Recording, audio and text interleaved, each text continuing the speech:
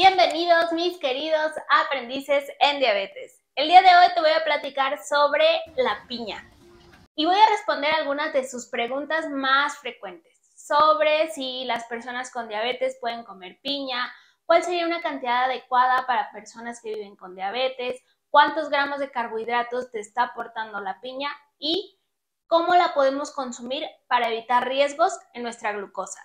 Así que te invito a que me acompañes a ver todo este video.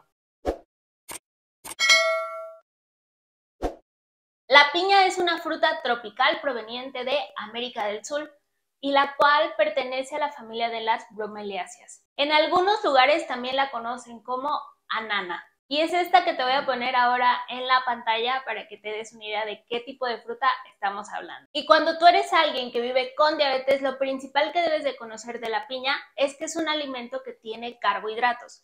Y de ahí entender qué cantidad de carbohidratos tiene. Ya que recuerda que todos los alimentos que contengan carbohidratos, después de digerirse ese carbohidrato en nuestro organismo, se va a convertir en glucosa. Por eso es tan importante este punto. Por lo que es verdad que la piña tiene la capacidad de subir tu glucosa, pero esto va a depender mucho de la cantidad que comas y el cómo la estás comiendo o con qué la estás acompañando. Pero pues obviamente la piña no es solamente carbohidratos. De hecho está llena de muchísimos nutrientes beneficiosos para nuestra salud, como la fibra, la vitamina C, antioxidantes y tiene incluso una enzima que se llama bromelina que nos va a ayudar con la digestión de las proteínas. Por lo que es una excelente fruta para poder acompañar algunas carnes, ya que de esta manera las vas a digerir mucho mejor. Por eso los taquitos al pastor llevan su piña para que nos hagan mejor digestión. ¿No es cierto? Pero entonces lo principal que debes de saber es que si vives con diabetes sí puedes comer piña. Se me hace un alimento sumamente saludable, es una fruta llena de nutrientes y como te decía, lo más importante en donde vamos a poner atención es en la cantidad, en la cantidad también de carbohidratos que contiene y en cómo consumirla. Pero de primera instancia te digo que si tienes diabetes sí puedes comer piña. Si quieres información sobre las consultas, las guías de porciones o mis próximos cursos, te dejo el link de mi página web en la descripción de este video. Entonces ahora vamos a ver cuál es la cantidad de piña que se consideraría una porción o un equivalente.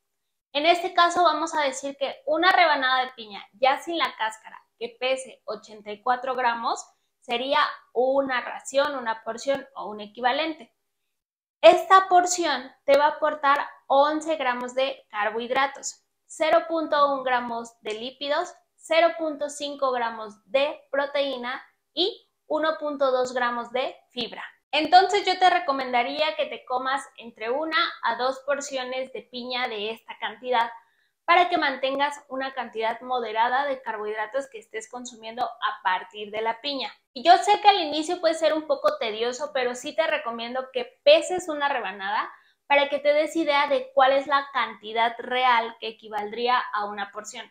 Y de hecho esa cantidad la puedes agregar tal vez a un refractario o a un vasito para que ya de manera visual observes más o menos cuál es lo que puedes consumir de piña y ya después no la necesitas estar pesando. Simplemente tomas tu envase y con ese lo tomas de referencia para tus porciones. Y como vimos, pues la piña principalmente tiene carbohidratos. Y esto hace que tenga un índice glucémico de 66, el cual se considera una absorción moderada. Y esto significa que en tu cuerpo puedes subir la glucosa de manera moderada a rápida dependiendo de la cantidad que consumas y también si la estás consumiendo solita. Por lo que una excelente forma de que tú consumas piña y te evites estos riesgos de que se eleve tu glucosa rápidamente, te recomiendo que la acompañes con un poco de grasa o de proteína. Por ejemplo, si es la hora de tu desayuno o la hora de tu comida, la puedes dejar como si fuera el postre, después de tus alimentos fuertes donde ya consumiste un poco de grasa y proteína. O bien, si la vas a utilizar como una colación o como un snack, lo que puedes hacer es añadir un poco de semillas antes de consumir este tipo de fruta. Por ejemplo, pues te comes unos cacahuates, unas almendras o unas nueces antes y después te puedes comer tu rebanada de piña y vas a ver que sí hace un cambio en la forma en que tu cuerpo va a absorber esa glucosa y también en cómo se, va a reflejar cuando tú miras tus niveles. Y entonces de esta manera puedes disfrutar de la piña sin preocupaciones, obtener todos los beneficios que te va a aportar a tu salud y disfrutar también de esta deliciosa fruta. Ya sabes que si te quedó alguna duda me la puedes dejar aquí abajo en los comentarios. También me puedes escribir qué otra fruta te gustaría que te platicara su información.